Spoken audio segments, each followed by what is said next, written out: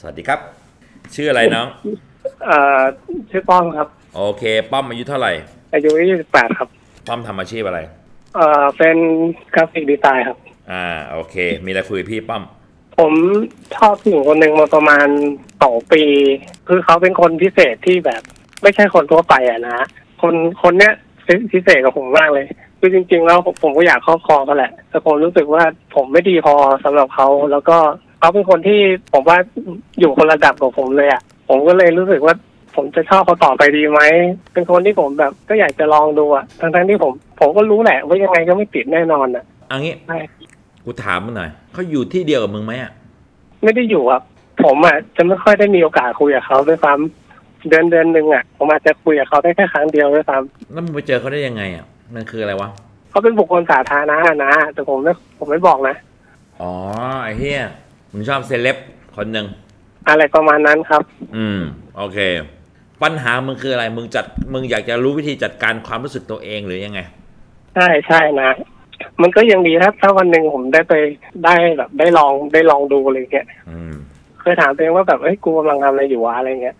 คนเราทุกคนนะเว้ยป้อม พี่บอกแบบนี้แล้วกัน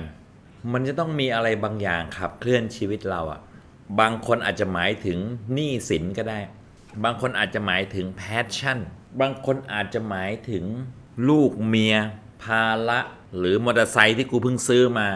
หรือพ่อแม่ที่กูต้องเลี้ยงแต่ทุกคนมันต้องมีสิ่งขับเคลื่อนให้กูทำอะไรบางอย่าง หรือความฝันของมึงอะกูมีความรู้สึกว่าผู้หญิงคนที่มึงหลงรักเขาอะมันเป็นสิ่งที่ขับเคลื่อนชีวิตมึงอะป้อม และการที่มึงมีใครสักคนที่มึงมีความรู้สึกว่าเออกูชอบเขาจังเลยฮะ เราจะคิดถึงเขาใช่ไหมเราจะมีความสุขที่ได้เห็นเขานึกออกใช่ไหม ครับแล้วเขาเรามีความรู้สึกว่าไอ้เชี่ยนี่คือคนที่แม่งแบบไอ้เหี้ยเป็นคนในฝันซึ่งแม่งมีอยู่จริงอะใช่ใช่ไหมป้อมไอ้เหี้ยครับมันโคตรดีต่อใจอะไอ้เหี้ยกูเข้าใจเลยมันเป็นความรู้สึกที่ดีมากป้อมเว้ยแต่เพียงแต่ว่าในสัปดาห์ที่แล้วเนี่ย พี่พูดกับสายหนึ่งแล้วตัดเป็นคลิปด้วย พี่แม่งพูดคำนี้เว้ยชื่นชอบแต่ไม่ต้องครอบครองอะ เข้าใจความหมายป่ะเข้าใจครับป้อม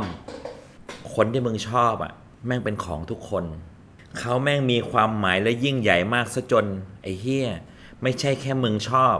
ทุกคนก็ชอบเขาอะ ถือว่าลดมึงลดสนิยมสูง ไอ้เฮียสิ่งที่ทำให้มึงแม่งประทับใจโดนใจได้ไอ้เฮียแม่งต้องเบอร์นี้เลย ไอ้เฮียหมู่มวลทุกคนแม่งชอบเขาหมด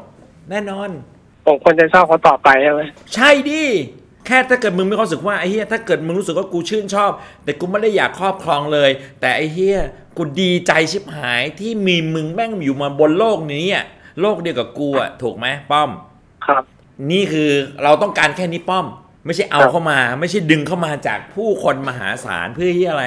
มันเป็นเมียมึงเหรอมึงมาเป่าอย่างเงี้ยเหรออยากเป่าอยากเป็นเมียอย่างเงี้ยเหรอไม่ก็ใช่ฝันมั้งนะใช่ครับเราไม่ได้คิดอย่างนั้นเลย เราหลงไหลในแสงจันทร์น่ะ แปลว่าไอ้เฮียอะไรเมื่อทุกคนแหงนมองบนฟ้า เห็นดวงจันทร์ดวงเดียวกับมึงอะมึงจะมาว่าไอ้เฮียแสงจันทร์นี่เป็นของกู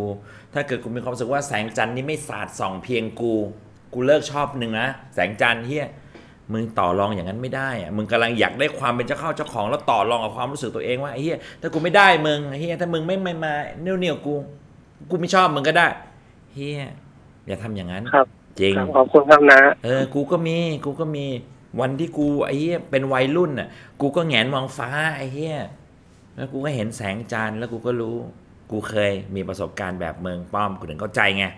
ให้ความรักความชอบนี้ เป็นแรงผลักดัน โชคดีที่มึงโทรติดไปป้อมครับขอบคุณครับเออ